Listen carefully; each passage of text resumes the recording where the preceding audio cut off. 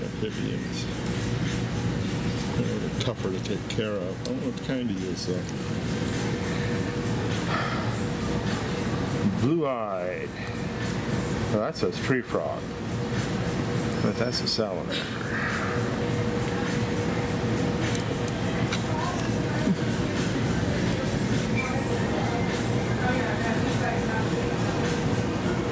All right, let's go.